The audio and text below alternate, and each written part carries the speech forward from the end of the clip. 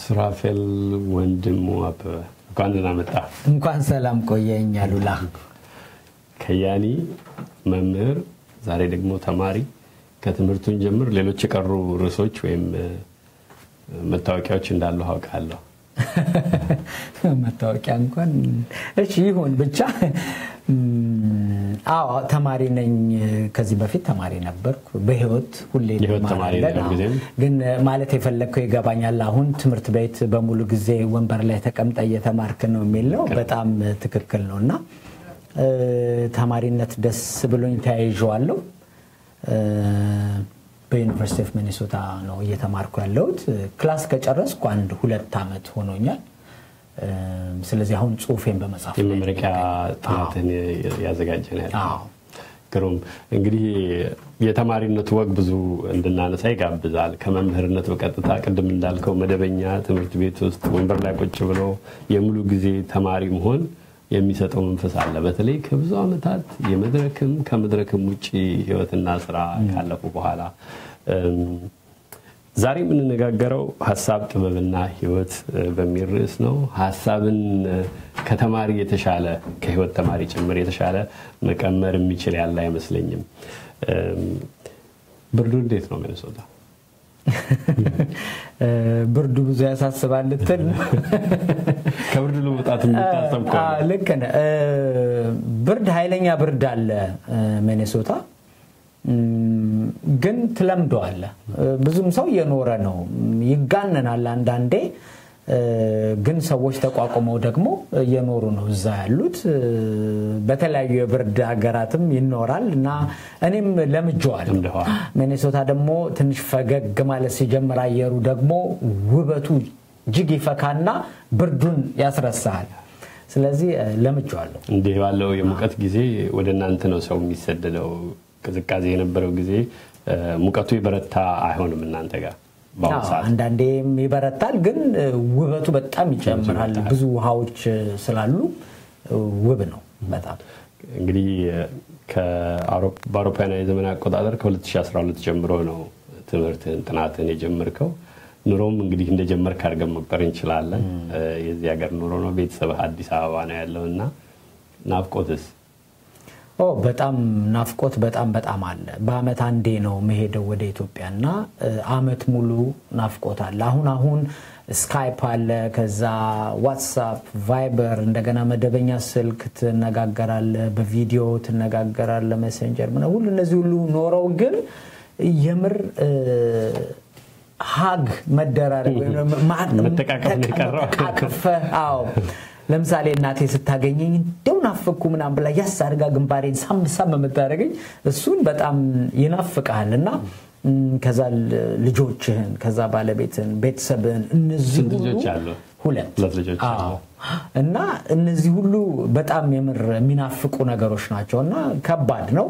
ግን ደግሞ እዛው ሚኔሶታ ደግሞ ብዙ ወዳጆች አሉ፣ ዘመዶች አሉ፣ የሚያስረሱ ለአንተ ፍቅር የሚሰጡ አክብሮት የሚሰጡ ቤተሰቦች እዛም አፍርቻለሁ እና እነሱ እነሱ ይከፋፍሉልሃል ደግሞ ጥሩ ነው። ሀሳብ ይከፈልልኛል ያልከው። እንግዲህ ሀሳብ እንዲከፈል ወይም እንዲከፈልበት ነው ዛሬ አንድ ወጋችን እና በትምህርት ቤት ጀምረናል። ሱራፌል ጥናትህ አብዮቱና በተለይ ወደ ሴቶች ያዘነበሉ ነገሮች ትሳባለ። የሴቶች ጉዳይ ያሳስበሃል። ህብረት ወይም ማህበር እስከ- ማቋቋም ድረስ ደርሳቸዋል። ያንተ ጥናት ግን አቤቱና ሴቶች በተለይም ደግሞ በጊዜው ቦታ ያልተሰጣቸው የተዘነጉ የታለፉ ሴተኛ አዳሪዎች በዛ ብዙዎችን በበላ አብዮት ብዙ ለውጦች በተካሄዱበት አብዮት ውስጥ ምን ሚና አላቸው የሚለውን ጫፍ የያዘ ነው። መጀመሪያ እንዴት ወደዛ ርዕስ አመራ? ምን አመጣው ያን ርዕስ? ምንስ አገኘ? በመጀመሪያ የሴቶች ጉዳይ የሚለው ነገር በትልቁ መታሰብ አለበት። በተለይ ወንዶች የሴቶችን ጉዳይ አንድም ጥያቄው እንዳይመጣ በማዘግየት ከመጣም እንዳይመለስ በኋላ በገመድ በመሳብ ሁለትም ደግሞ በማፈን ሶስትም ደግሞ ጥያቄውን አምጥተውት ሴቶች ታግለው የሆነ ፍሬያቸውን ሊበሉ ሲሉ ነጥቆ በመብላት ኮኦፕት በማድረግ ወደ ራስህ ፍላጎት በመውሰድ በመጠምዘዝ ሂደት ኢትዮጵያ በጣም ትታወቃለች። አንደኛው ትልቁ የአብዮቶች ፕሮጀክት የ66 አብዮትም ሆነ 1983 አብዮቶች ለሴቶች ምን ይዘው መጥተዋል የሚለው አሁንም ትልቅ አጠያቂ የሆነ ነገር ነው። ሌላው ቀርቶ ህገ መንግስቱን ያረቀቁ ሰዎች ራሳቸው በአደባባይ እንደሚናገሩት ሁሉ የሴቶች ጥያቄ አሁንም ብዙ ብዙ ሊሰራበት የሚገባ ነው። በህግ መልክ እንዲመጣ ራሱ ብዙ ጥረት አድርገዋል ሴቶች። ህግ መጥቶም ደግሞ ህግ በቂ የማይሆንበት ነገር አለ። ሁልጊዜ ፖለቲካዊ መልስም ይፈልጋል። ስለዚህ ህጉ ህግ ራሱ የፖለቲካ ጉዳይ ነው። ስለዚህ በዛ በዛ ረገድ ስታየው ብዙ ያልተመለሱ ነገሮች አሉ። ሴቶች ግን ትግል አላደረጉም ማለት አይደለም። ወንዶችስ ምንድን ነው ተሳትፎ ማድረግ ያለባቸው? ይሄ ማለት እኛ ከሴቶች ጋር አንድ ነን እንደው ጭቆናቸው ይገባኛል ብሎ አጉል መለፈፍ ሳይሆን ልዩነቱን በመረዳት ሴቷ የምትኖረው ኑሮ እኔ እናንተ አንኖርም። ጠዋት ከቤታችን ስንወጣ ወንድነታችን የሰጠን ታሪካዊ ጥቅም እንደው ሴት ልጨቁን ዛሬ ጠዋት ወጥቼ ባትልም ብለህ ባትታጠቅም ግን ወንድነት የሚሰጥ ጥቅም አለ። ማታም ወደ ቤት ስትሄድ ደረትህን ነፍተህ መቼም እኔ ደረት እንኳን የለኝም። እንደው ግን እንዲህ እንዲህ እያልክ በነፃነት አምሽተህ ወደ ቤት ስትገባ ሴቷ ባትፈራ እንኳን እንዳንተ ነው የምትራመደው ወደ ቤቷ ስትሄድ። እንደዚህ አይነት ትናንሽ ከሚመስሉ ጥቅሞች ጀምሮ ልማድ ማህበረሰብ የሚያሳድሯቸው ብዙ ነገሮች አሉ። እንደገና የኢኮኖሚ ጥቅም፣ የትምህርት ጥቅም ዛሬ እኔ እናንተ እዚህ ጋር ቁጭ ብለን የምናወራው ሁለት ወንዶች በሴቶች ጉዳይ ራሱ ማውራታችን ራሱ ፖለቲካዊና ታሪካዊ ሁኔታ የፈጠረው ነው። ስለዚህ እነዚህን ሁኔታዎች በመረዳት እንዴት ነው ወንዶች ከሴቶች ትግል የምንማረው? ሴት ታጋዮችን ማዳመጥ መቻል አለብን። ምንድን ነው እያሉ ያሉት? እና አንዳንዴ የእነሱንም ጥያቄ እኛ ካላራመድን ብለን እንደው እናውቀዋለን ብለን እንሄዳለን። እና እነሱ እነሱ ጥያቄዎች አሉ። የኔ የኔ ጥናት በዋናነት የሚያተኩረው የኢትዮጵያ ሴት የኪነ ጥበብ ሰዎች በአብዮት ሰዓትና በአፄያዊ ስርዓቶች በተለይ በኮሎኒያል empire ሰዓት እና በአምስቱ ዓመት የጣሊያን ወረራ ዘመን በኋላም ደግሞ በአፄ ኃይለስላሴ አፄያዊ ስርዓት ውስጥ እንዴት ነው የኖሩት? ምን አይነት ፈተና አልፈዋል? እነሱ ከትግል ውጭ ናቸው ወይ? ትግላቸው ምን ይመስል ነበረ? የሚሉትን ነገሮች ለማየት ነው የምሞክረው። ግን ይሄ ቅድም ካልኩ ከአጠቃላይ የስርዓተ ጾታ ወይም የ gender issues ወይም ደግሞ ጉዳዮች ጋር እጅግ የተገናኘ ነው። የጀንደርን ጉዳይ ስናነሳ በአብዛኛው ደግሞ የምንዘነጋው በእንግሊዝኛ sexuality የምንለው የ sexuality ፖለቲካ ወይም ደግሞ አላውቅም እንዲህ ብለን መፍታት ከቻልን የወሲብ ፖለቲካ አውርተነው አናውቅም። የሴትን ልጅ የወሲባዊ ህይወት ይቆጣጠራል መንግስት ግን አይነግርህም። እሱን ሁሉ እየተቆጣጠረ እየተጠቀመ አሁንም ወንዶች ትርፍ ሊያተርፉበት ይሰራሉ። ስለ አብዮት ስናወራ የተማሪ ንቅናቄ ነው ብዙ ጊዜ መሀል ላይ የሚመጣው። እዛ ውስጥም ደግሞ ወንዶች ናቸው የሚመጡት። እውነቱን ለመናገር ፊት ለፊት ላይ ያሉት ወንዶች ምንም እንኳን በኋላ ላይ የሴቶችን ጥያቄ ያቀፉና ያራመዱ ወንዶች ቢኖሩ sexist የሆኑ ማለት ሴትን ጾታዊ ተጽዕኖ የሚያሳድሩ ጉልበተኞች የተማሪዎች መሪ ነበሩ። ስለነሱ አናወራም። ስለዚህ ይሄ ቀርነት ያለው ወይም ኢናዲኩዌት የሆነ የለውጥ ትግልና የነፃነት ናፍቆት ምንድን ነው ተብሎ መመርመር አለበት እና ራስን መጠየቅ ያስፈልጋል ማለት ነው። ስለዚህ ራሴን በመጠየቅ ሂደት ውስጥ ነው ነገር ለመጻፍ የምሞክረው እና አዎ ጉዳይ ነው ማለት በያገባኛል። በዚህ መንፈስ በዚህ ጥልቀት መውሰድ ራሱ አንድ ትልቅ እርምጃ ይመስለኛል። ምናልባት ብዙዎቻችን ሌሎቻችን እንዳልከው የሴትን ጉዳይ ከመረዳቱ እናት እህቶቻችን ናቸው ሴቶች ግን የዛን ያህል ከእናትና ከእህቶቻችን ሲያልፍ ከባለቤቶቻችን ወይም ከህይወት ተጋሪያችን ሲያልፍ አናየውም እና አሁን የምትላቸውን ጥያቄዎች ማንሳት ራሱ ሌላ አብዮት የሚጠይቅ ይመስላል። በጣም አዎ። ከዛ የሚገርም እናቶቻችን እኮ ናቸው፣ እህቶቻችን እኮ ናቸው፣ ታላቅ እህቶቻችን እኮ ናቸው ምናምን እያልን ነው ማምጣት የምንፈልገው እንጂ ወደ ራሳችን አምጥተን ምን ጥቅም እያካሄድኩ ነው፣ በወንድነት የምን ትርፍ ነው እያተረፍኩ ያለሁት፣ ይሄ ትርፍ ደግሞ በማን ህይወት እየተከፈለ በማን expense ላይ ነው የሚመጣው የሚለውን ማሰብ መቻል ያስፈልጋል። ስለዚህ ይሄ ፖለቲካዊ ኢኮኖሚያዊ ትግል ነው። ለማወቅ እዚህ ውስጥ ቦታ ይኖረው ይሆን? አሁን በምትለው ጥልቀትና ቅርበት የራስ ለማድረግ ፈቃደኝነት የመጀመሪያው ጉዳይ ቢሆንም በዛን ያህል መረዳቱ መኖሩን እርግጠኛ አይደለሁም። አሁን የምትላቸውን በዚህ ሰዓት የኔ እናንተን ውይይት የሚከታተሉ ተመልካቾች የሴቶች ጉዳይ በዚህ ደረጃ ይታየዋል ወይ? ብዙ ችግር ያለበት ሀገር ነው። ብዙ አንገብጋቢ ጉዳዮች አሉ። እንደ አንዱ ጉዳይ ነው አሁን በጥናት ወረቀቱ መነሻነት የምንነጋገረው። ተመልካቾቻችንም አቅጣጫዎችን ለማስያዝ ያህል እውቀት ምን ያህል ስፍራ ይኖረው ይሆን?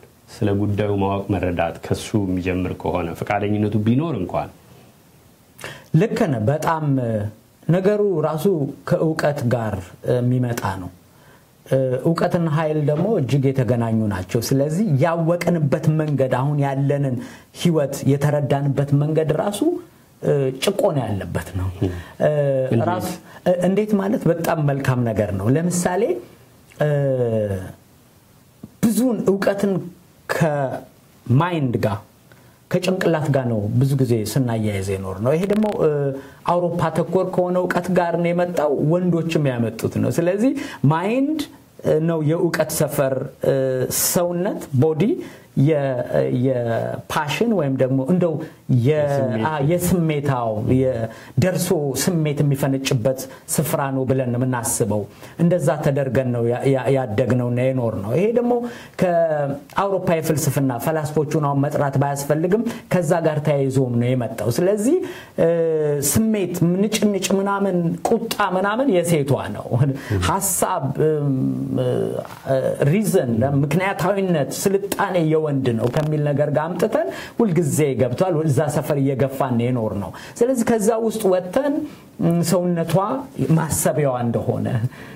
ቁጣዋን ቢመጣ ሰውነቷ ላይ ከሚያርፍባት patriarchy ወይም የወንድ የበላይ የሆነው ስርዓት ከሚያደርስባት ሰውነቷን ከሚገርፈው ግርፋት ከሚቆርጠው መቁረጥ ጋር ተገናኝቶ ነው ብለን ማሰብ መቻል አለብን።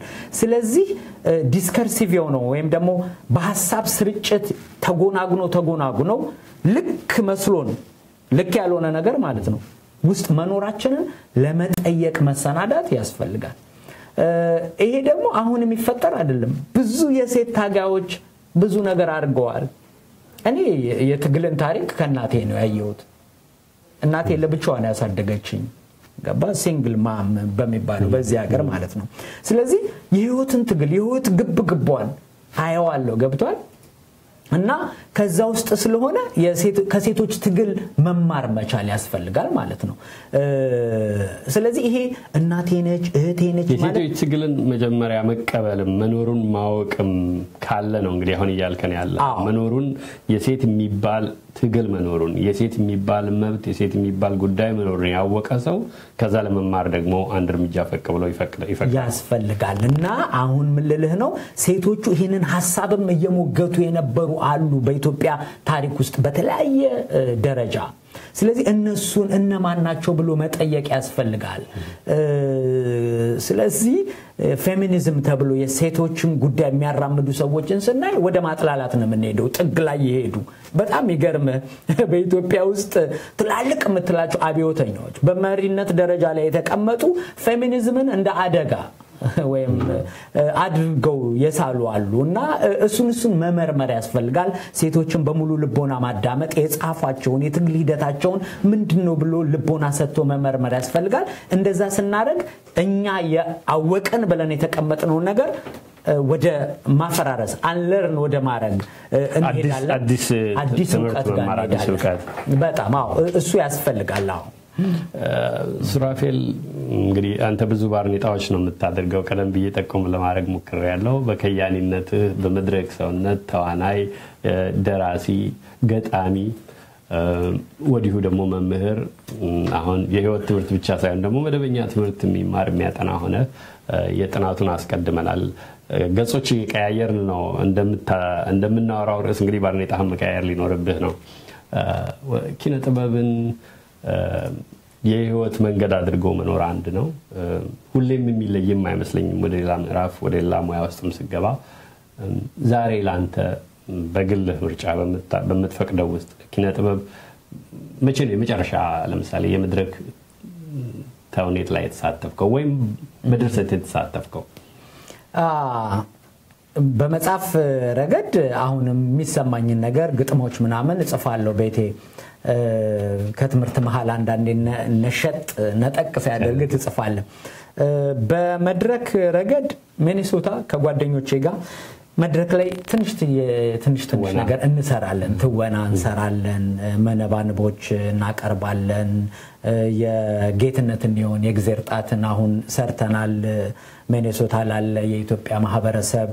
ስለዚህ እዛ ፍኖተ ጥበብ የሚባል ታውቀዋለህ። ሚኔሶታ በጣም ጥሩ የሆነ ቡድን ወዳጆች የጥበብ አፍቃሪዎች አየህ። በስደት ውስጥ ሆነው ያላቸውን ስሜት ለማስ የግድ excellence የምትለው ልዩ የፈነጠቀ ነገር ባይኖር እንኳን እዛ ውስጥ ያላቸውን ሰዎች ሀሳባቸውን ለመግለጽ በዛ ውስጥ ይጣጣራሉ። እና እሱን ማድነቅና ማክበር ያስፈልጋል። በአድናቆትና በአክብሮት አብሬያቸው እሳተፋለሁ። እና እዛ እዛ ራሴን ለመግለጥ እሞክራለሁኝ። በ2015 በፈረንጆች አቆጣጠር የዛሬ ሁለት ዓመት ኢትዮጵያ ላይ ትንታግ የሆኑ ሴቶች አሉ። መቼም አዜብ ወርቁና መዓዛ ወርቁ እጅግ አሳቢዎች ናቸው። ደራሲዎች አይደሉም።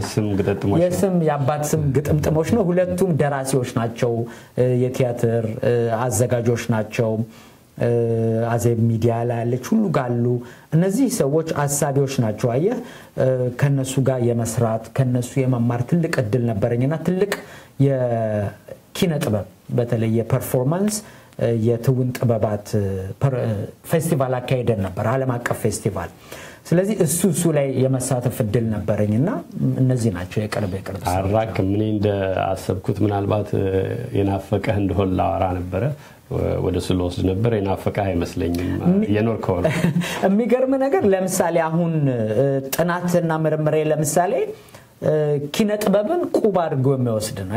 ኪነ ጥበብ በጣም ያሳዝናል። አዝማሪዎች ጥልቅ ትችት፣ ማህበረሰባዊ ትችት ሲሰጡ ነው የኖሩት። ግን አዝማሪነት አሁንም ከመገፋት አልቀረም። ቅድም ያልኩ አስተሳሰብ mind ና body የሚለው ጭንቅላት የአሳቢዎች ነው፣ ሰውነት የማያስቡ ሰዎች ነው የሚለው ለኪነ ጥበብም ሰርቶ ይሰራል እና ብዙ የ natural science ወይም የሌሎችም አንዳንድ አዎ አስተሳሰባቸው ሰፋ ያላሉ ሰዎች ኪነ ጥበብን seriously ወይም ደግሞ በቅጡ ቁብ ሰጥተው አይወስዷትም።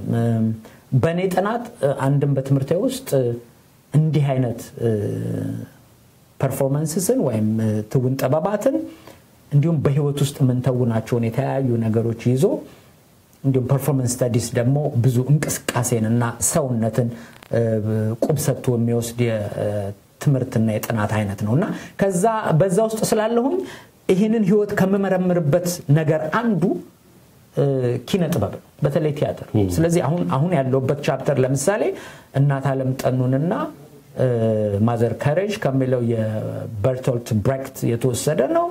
እሱ ታውቀዋለህ። የፖለቲካ ፈላስፋም ጭምር ነው። የኪነ ጥበብ ሰው ነው። የቲያትር ሰው ነው። epic ቲያትር የሚለው የታሪክ አረዳዱ እንዲሁም የ dialectics የቅራኔን የሚረዳበት መንገድ እንዲሁም ብዙ ጥያቄዎችን ይይዛል። ሀሁ በስድስት ወር አለ የጸጋዬ ገብረመድህን እነዚህን ቃል በቃል እየሄድክ ትንታኔ ውስጥ ነው የምትቆየው ማለት ነው። ምክንያቱም ኪነ ጥበብ ራሱ ርዕዮተ ዓለም ትግል ከሚካሄድባቸው ስፍራዎች አንዱ ነው እና seriously አልተወሰደም።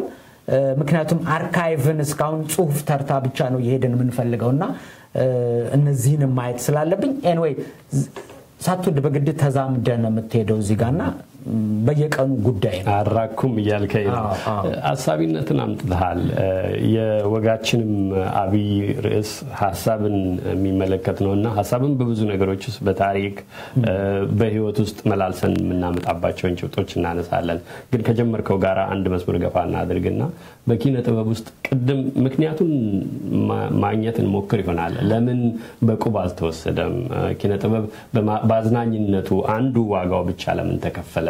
ውበቱ ብቻ ለምን ይታያል? የሚለውን እንመለከታለን። ግን በኪነ ጥበብ የሚደረጉ የሚሰሩ ስራዎች ላይ ሀሳብ ሊኖረው የሚገባው ቦታ አልተሰጠውም የሚል እምነት ካለ ወይም ቅድም በገለጽክልን መንገድ ካለ በየትኞቹ ስራዎች ውስጥ ጎልቶ ታየዋለህ? ለምሳሌ ኢትዮጵያዊ በሆኑ ስራዎች ውስጥ ማምጣት ብንችል ያን ለሚል ሰው ማሳየት የምትፈልገው ነገር ቢኖር አስከትለህም ለምን እንደዛ እንዳይታይ ሆነ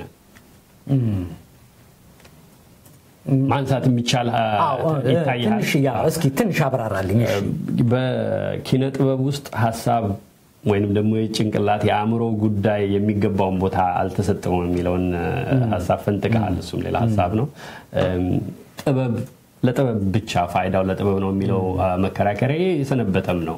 ኢትዮጵያዊ ብቻም አይደለም፣ በሌላውም ዓለም የቆየ ነው። አንተ ግን የለም ከዚያ በላይ ነው የሚለውን ለማሳየት የጥበብ ውበት ውልበለው የጥበብ ጎልቶ የወጣባቸው የሚታይባቸው ስራዎች ስነ ግጥም ሊሆን ይችላል፣ የመድረክ ስራ ሊሆን ይችላል፣ ሙዚቃ ሊሆን ይችላል። ሀሳብ ጎል ትልቅ ቦታ ያለበት ማሰላሰል፣ ማውጣት ማውረድን የሚያሳይ ስራዎችን ማንሳት እንችላለን። አዎ በጣም በጣም ጥሩ ጥያቄ ነው። እንዳልከው ይሄ ጎህ የሚባል መጽሔት ጸጋዬ ገብረ መድኅንን እንደው ኪነት ለኪነትነቱ ብቻ እያሉ አንዳንድ ሰዎች ይሰሩታል፣ እንዴት ታየዋለ ምናምን ብለው በ1966 ወይ 67 ዓ ም ላይ ጠይቀው ነበር እና ምን ይላል ይህንን የነተበ ጥያቄ እዚህ ጋር አታምጡ። 66 ላይ ይህን የነተበ ጥያቄ አታምጡ። አዎ ብለነው ብለነው እኮ በቅቷል። ይሄ ታዳጊ መጽሔታችሁን የአዲስ ሀሳብ መዘዋወሪያ አድርጉት ይላቸዋል። ምን ለማለት ነው? art is already political ማለት ነው። ኪነ ጥበብ ፖለቲካዊ ነች። ግን እያን ኪነ ጥበብ ግን ከውስጧ innately የሚወጣ የደግነት ጸዳል አላት የሚል አስተሳሰብ የለኝም። እኔ የማየው ኪነ ጥበብ በምንም መልኩ በሙዚቃም በለው በቲያትር በለው በስነ ጽሁፍ በለው የሚጽፈው ሰውዬ ወይም ደግሞ የተለያዩ ሀሳቦች የሚፋጩበት አንዱ ቦታ ነው ነው ስለዚህ ልክ archive የሚባለውን ዶሴ ሄደን ለመመርመር እንደምንፈልገው የነገስታትን ደብዳቤ ናፍቀን ከአቧራ ውስጥ አውጥተን ስናመጣ እዩት ሀቅ ብለን ዶሴ ውስጥ ስለወጣ የምናራግበውን ያክል ኪነ ጥበብንም ብናይ ብዙ ህይወቶችን የበለጠ መረዳት እንችላለን። ስለዚህ አድማሱን የማስፋት ነገር ነው። ዶሴውንም ተመልከት፣ ግን ደግሞ ይሄንንም እይ። ምክንያቱም እዚህም ላይ ብዙ ታሪክ ተካሂዷል ለማለት ነው።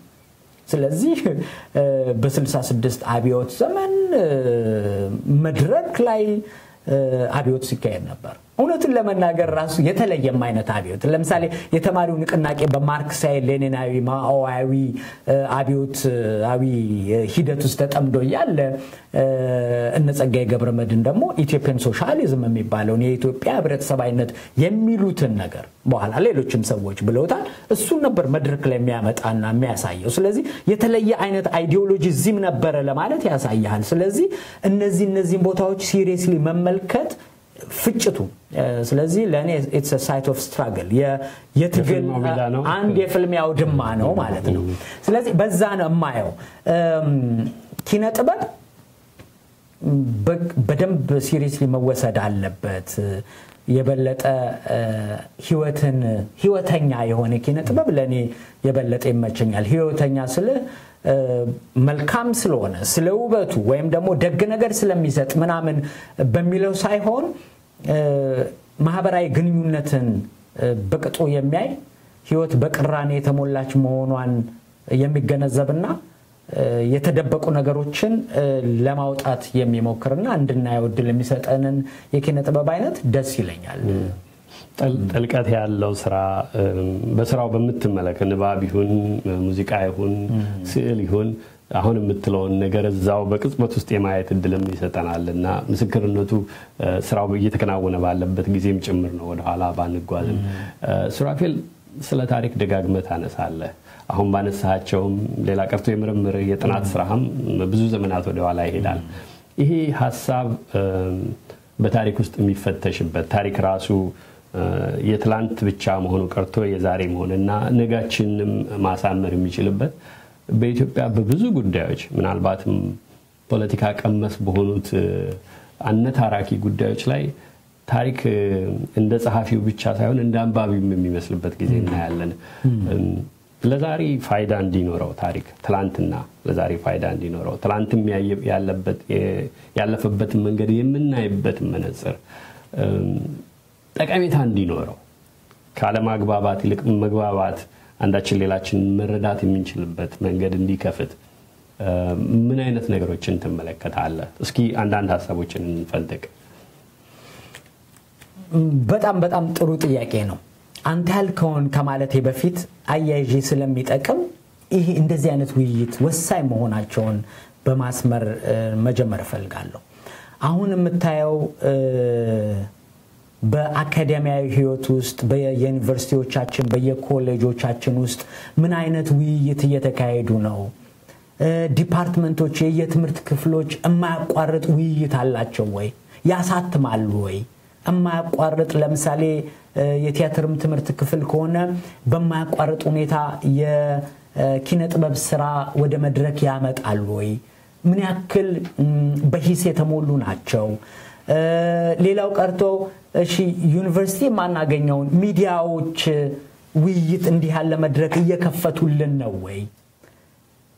ከዛ ደግሞ social media ላይ ስትመጣ ደግሞ በቁጣ የተሞላ ነገር አለ። እውነት አንዳችን አንዳችንን እንድናተርፍ ነው እየተነጋገርን ያለ ነው ወይስ በእልህና በቁጣና በስላቅ እየተጎነታተልን የኛ የመጎነታተልና የሀሳብም ሳይሆን እንዲሁ የመሰዳደብ ፍጭቶች መሬት ላይ የሚፈጥሩትንና በህዝቦች መካከል የሚፈጥሩትን ክፉ ነገሮችስ እንዴት ነው የምናደርገው? consequential ናቸው፣ ተጽዕኖ ጣጣ አላቸው መሬት ላይ። ስለዚህ ከአንጀትና ከልብ በሆነ ነገር መጠያየቅና ሙግትን መሟገትን ከልብ ለሆነ ነገር የነገ ቀናችንን ነፃነታችን ብዙ ሀሳቦች የሚመጡበት የኔ ብቻ ነው ልክ ብለን የማንወጣበት የተሻለ ህይወት የምንኖርበት እንደሱ እንድናደርግ ነው ወይ የምንታገለው? ከትላንትስ ጋር እየተወያየን ያለ ነው በዚህ መልኩ ነው ወይ የሚለውን በጣም ስለሚጠቅም ይሄን ለማንሳት ፈልጌ ነው እና በጣም ጥሩ ጥያቄ ነው ያነሳኸው። ይሄን መሰረት አድርጌ ወደዛ ለመግባት በታሪክ በኩል ታሪክ ራሱ አንድም የትምህርት ክፍል ነው። ብዙዎቻችን ደግሞ ታሪክን ትላንት እንደሆነ ነገር ነው የምናስበው። ራሱ ታሪክን ትላንት የሆነ ነገር ነው ብሎ ማሰብ የትላንትና ያለፈ ያለፈ ነው እና እዛው በሆነው በአውድ ውስጥ እንየው የሚል አስተሳሰብ በአብዛኛው ጸንቶ ይታያል። በኢትዮጵያ ውስጥ ብቻ ሳይሆን በቀሪውም ዓለም ላይ ይሄ ሀሳብ በጣም ብዙ ተጽዕኖ አለው። ስለዚህ እንዴት ነው እኛ ይህንን አስተሳሰብ ከየት ነው የገዛ ነው የተለየ የታሪክን ፍልስፍና በተመለከተ እንዴት ነው ደግመን ማሰብ ያለብን የሚለውን ነገር መነጋገር አለብን። ስለዚህ ለእኔ አንተ ያነሳው ነገር ለምሳሌ ይስማማኛል። ዛሬ ጉዳያችን መሆን የለበትም ወይ? ስለዚህ ዛሬን የምናነሳ ከሆነ ታሪክ የትላንት ጉዳይ ብቻ አይደለም ማለት ነው። ስለዚህ እንደው ደርሶ ከትላንት ትምህርት የምንቀስም ሰዎች ሳንሆን ታሪክ የሚባለው ነገር አሁን ባለው traditionally በምናውቀው ነገር ምንድን ነው? ታሪክ ትላንት የሆነ እና historian ኡ ሄዶ መዝገብ ዶሴ አገላብጦ ሀቅ ይዞ መጥቶ የሚነግርህ ነገር ተደርጎ ነው የሚወሰደው። ግን ይህን ስታይ አንዳንዱ 16ኛው ክፍለ ዘመንን ብቻ አተኩሮ ታየዋለህ። አንዳንዱ 19ኛው ክፍለ ዘመንን አተኩሮ ታየዋለህ። እኔ በግሌ በምማረውም ትምህርት ውስጥ ማየት የምፈልገው የምንፈልገው ማ ከትላንት ውስጥ ምንን ወይም የትኛውን ክፍል ጠቅሶ ዛሬ ምን አይነት ፖለቲካዊ እና ኢኮኖሚያዊ ስርዓት መገንባት ይፈልጋል ወይ እየገነባ ነው? ማ ምን አይነት የአገዛዝ ስርዓት እንዲቀጥል ይፈልጋል? ስታትስኮን ማስጠበቅ የሚፈልገው ለምንድን ነው? በዛ መልኩ ወይም ደግሞ ነገ ምን አይነት አገዛዝን ወይም ደግሞ ስርዓትን ወይም ነፃነትን እንዲመጣ በመናፈቅ ነው ከትላንት ውስጥ አምጥቶ ይሄ ነው ሀቁ የሚለን። ትላንትማ እጅጉን ውጥንቅጡ የወጣ ሰፊ ነገር ነው። ሄደን ብንገባበት የትኛውን ከየቱ ጋር ይዘን እንዴት እንደምናደርገው አናውቅም። ስለዚህ ፓወር እዚህ ጋር ኃይል ከፍተኛ ሚና ይጫወታል ማለት ነው። ትላንትን የመሰለውን መርጦ ይሄ ነው ሀቁ፣ ይሄም በመሆኑ ይሄንን ስርዓት ነው መከተል ያለብን። ስልጣን ላይ ያለ አካል ወይም ኃይል ያለው የማስፈጸም አቅም ያለው አካል የሚመዘውና በሱ ንባብ በሱ ምልከታ ማቅረብ የሚፈልገው ነገር መሆን የለበትም ነው። እንደሱ እንኳን ቢሆን ፖለቲካዊ ፖዚሽኑን መጠየቅ አለብን ነው። አሁን እንግዲህ ገብቷል። ስለዚህ ታሪክን የመተረክ ጉዳይ የፖለቲካዊ ጉዳይ ነው ማለት ነው። ስለዚህ ምን አይነት ፖለቲካ ይዘህ ነው ከትላንት ጋር እየተነጋ ስለዚህ በእንግሊዝኛ it's not of the past ትላንትን የማሳየት የማምጣት ሳይሆን ከትላንት ጋር የመነጋገር ጉዳይ ነው ማድረግ ያለብን ማለት ነው። ያ ንግግር እንዴት ይጀመራል? እንዴትስ የብዙዎች ይሆናል? የሁሉም ማድረግ አስቸጋሪ ነው። እንደሱም አይነት ፕሮጀክት ይከብዳል። እኔ የሚመስለኝ እውነቱን ለመናገር እንዲህ አይነት representations ትላንትን የሚደረገውን ውክልና ምንድን ነው የሚደብቀው ነገር ምንድን ነው? በተወሰኑ አይነት ውክልናዎች እንዳናስብ የተደረግን ነው። ለምሳሌ ሴተኛ አዳሪዎች እና አብዮት ፈጽሞ የማይገናኙ ሀሳቦች ተደርገናል። ማለት ሴተኛ አዳሪዋን ከአብዮቱ ጋር አታስባት። ማን ነው የማትታሰብ ፍጥረት ያደረጋት? ወራዝ ግን ሴተኛ ዳሪዎች ወጥቶ አደባባይ ሰላማዊ ሰልፍ አካሂደዋል። በኋላ ላይ እያንዳንዱ ዛሬ መጥራት የሌለብን የተለያዩ የፖለቲካ ድርጅቶች እነሱን በምን መልኩ እንደሚያሰልፉ ትላልቅ ጽሁፎች ይጽፉ ነበረ።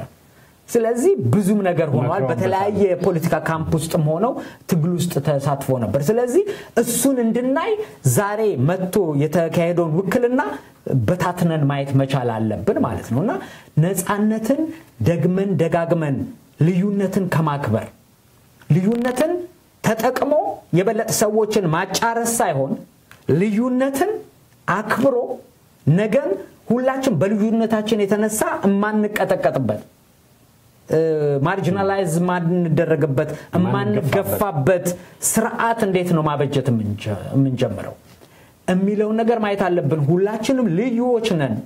አካል ጉዳተኝነት አለ፣ ሴትነት ወንድነት አለ። ሴቶች ደግሞ አንድ አይደሉም። መዓት ሴቶች አሉ። በአብዮቱ ሰዓት እንኳን ድርብ ድርብርብ ጭቆና እየተባለ ነበር ሀሳባቸውን የሚያቀርቡት። በዚህ ሰዓት ደግሞ ተጎናጉኖ የማየት ወይም intersectionality የሚለውን ሀሳብ በደንብ መያዝ አለብን። ለምሳሌ የመደብ ጥያቄ አንዱ ወደፊት ያደርገዋል፣ አንዱ ደግሞ የብሔር ጥያቄን ከፊት ያደርገዋል። ሁልጊዜ የሴቶች ጥያቄ ወደ ኋላ ይገፋል። የሌሎችስ ጥያቄ ለምን ይገፋል? ለምንድን ነው አጎናጉነን የማናየው? እርግጥ ነው የ class የመደብ ጥያቄ ብቻ ሳይሆን የካፒታል የዓለም የከበርቴያዊነት ጥያቄ በቅጡ መታሰብ አለበት። ምክንያቱም እየኖርን ያለነው በኒዮ ሊበራሊዝም ዓለም ውስጥ ነው። ስለዚህ እሱን ይዘን ማን እያተረፈ ያለው ስትል ወንዶች ናቸው አሁንም የሚያተርፉ። ስለዚህ እነዚህን ሁሉ አጎናጉነን መመልከት መቻል አለብን ብዬ ነው ማስበው ወደ ነፃነታችን ሱራፌል፣ እነኚህ ሀሳቦች ለመጀመር ያህል የሆኑ እንደሆን ነው እንጂ ብዙ ቦታም ይወስዳሉ። አሁን ባነሳቸው ጭብጦች ውስጥ ራሱ የሚመዘዙ በርካታ የሀሳብ አረጎች አያለው። ሰዓቱን እንደው ለማቀላጠፍ ያህል የቴክኒሻናችን ፈጠን የምናደርግበትን ምልክት እየሰጠኝ ነው። ይሄ ማንም ይሁን ማን ያን የታሪክ ቦታ ጊዜ ተለይቶ የሚታወቅ ነገር አምጥቶ ዛሬ ጋር ሲያሳይ ፍላጎቶች አሉ ቡድኖች ውስጥ ግለሰቦችንም ጨምሮ ለእነኛ ፍላጎቶች ማራመጃ የሚውልበት ሁኔታ አለ። ቅድም እንዳልከው ተመርጦ የሚመጣ የጊዜና የቦታ ጠቀስ ታሪክ አለ። በአንጻሩ ደግሞ የቱ ሲወሰድ ሁሉም ከራሱ ከራሱ መንገድ ከራሱ እይታ ጋር ማነጻጸሩ አይቀርምና ትክክለኛ የሚባል ነገር ካለ መኖሩን እርግጠኛ አይደለሁም። ሊያግባባ የሚችል የሚለውን ቅድም ያልከው ጠቀሜታ ያለው ፋይዳ ያለው ዛሬን ሊያበራ የሚችል ልዩነት እንኳን ቢኖር ከማራራቅ ይልቅ የተሻለ መንገድ ለሁሉም ሁሉንም ተጠቃሚ ወደሚያደርግ ቦታ እንዲወሰድ በምን መልኩ መታየት አለበት ትላለ? ይሄ ፕሮግራም እንግዲህ እኔ የምመለከተው እኔ እንደሚታየኝ የሚል የግልን ሀሳብ የሚፈነጠቅበት ነው እና እንዲነጋገሩ በዚህ ሰዓት በፌስቡክ የሚከታተሉ ተመልካቾቻችንም እንዲነጋገሩበት በአዎንታዊነት ሊወሰድ የሚችለው ነገር ምን ይመስልሃል? በጣም ትልቅ ጥያቄ ነው። ያንተ ጥያቄ እረዳዋለሁ። እንደው መፍትሄ ይሄ ትምህርት ቤት እየሄዱ ያሉ የተማሩ የሚባሉ ሰዎች መፍትሄ የሚሰጡበት ሳይሆን ምንድን ነው እኔ የማስበው ምንድን ነው ብለው እንዲነጋገሩ እየጋበዝክ እንደሆነ እረዳለሁ።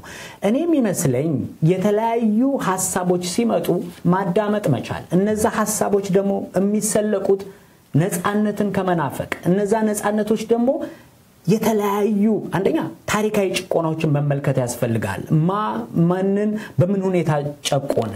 ልዩነቶች እንዴት ነው የተስተናገዱት? ልዩ መሆናችን ሀቅ ነው።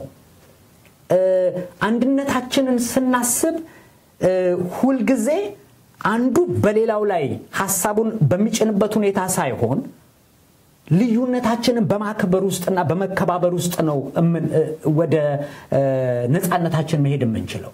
ይሄ ማለት ግን ልዩነትህን ደግሞ ለክፋት እያልክ ኤና ቢን ወይም ሀና ለን በማጋጨት ደግሞ ወይም ደግሞ ዲሞክራሲና ልዩነት ቨልነራቢሊቲ አላቸው፣ ስሱም ናቸው። ክፉ ሰው ቦትርፎ ሊጠቀምባቸው ይችላል። ገባ? ስለዚህ እንደሱም ሳይሆን እንዴት ነው ልዩነቶችን የምናከብረው? ሆሞጂናይዝ የማናደርገው ትላንትን አንድ ወጥ አድርገን ማሰብ የለብን። ነገም አንድ ወጥ አድርገን እንገነባዋለን ብለን የምናስብ ከሆነ የተለያዩ ሀሳቦች እንዲመጡ አንፈቅድም። ስለዚህ የተለያዩ የህይወት መንገዶች እንዲኖሩን መናፈቅ ስንችል ነው። ይሄ ደግሞ አንዴ መሬት ላይ የሚተረጎም ፕሮጀክት አይደለም። እለት በዕለት ራሳችንን እየጠየቅን ጭቆናን ባገኘንበት ቦታና ጊዜያት ሁሉ space የሚለውን እያሰብኩ ነው።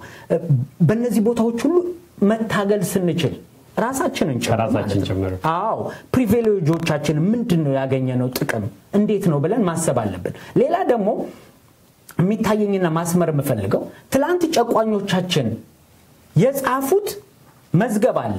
በዛ መዝገብ እኛን ሲጨቁኑ ነበረ። ነገ ነፃነት የሚናፍቁ ሰዎች ያንን መዝገብ ይዘው የጨቋኞቻቸው መዝገብ ይዘው ነፃነት ሲናፍቁ ሳይ ያሳዝነኛል። በዚህ መዝገብ ሌላ ጭቆና ነው የምታመጣው፣ ወይም ደግሞ ያለውን ጭቆና ነው የምትጠብቀው።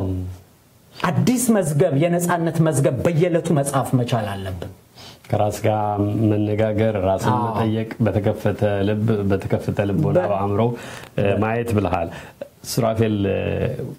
ወጋችን ተጀመረ እንጂ ያለለቀ አይደለም። ተመልካቾች በያሉበት እንዲነጋገሩ ለማድረግ ያህል ነው። የማይገታ የማይቆጣጠሩት መከልከል የማይቻል የሚመስለውን ሀሳብ መግታት ላይ ያለንበት የሚመስል ሁኔታ ይታያል። አዎንታዊ የሆኑ ነገሮች እንዲፈነጥቁ ቀደም ብለህ የጠቆምካቸው ጭብጦች ላይ ሰዎች ወደሚጠቅመው ነገር ማየት እንዲቻሉ ልዩነቶችን እንዲያከብሩ ያልካቸውን ተመልካቾች የሚነጋገሩበት ይመስለኛል። ድጋሚ እንዳመጣህ ቴክኒሻኔ ሰዓት ማለቁን እየነገረኝ ነው። ድጋሚ እንጋብዝህ ወጋችን እንዲቀጥል ተስፋ አድርጋለሁ። አመሰግናለሁ። በጣም አመሰግናለሁ።